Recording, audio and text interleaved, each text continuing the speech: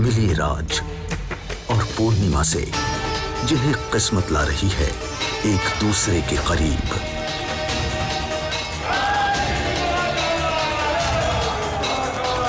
लेकिन ग्रह नक्षत्र के अनुसार इस प्रेम कहानी में दोनों में से किसी एक की मृत्यु होगी। ज़िंदगी की राह में क्या वो मिलकर भी हो जाएँगे? हमेशा के लिए जुदा कयामत से कयामत तक। सोमवार से शुक्रवार रात साढ़े दस बजे।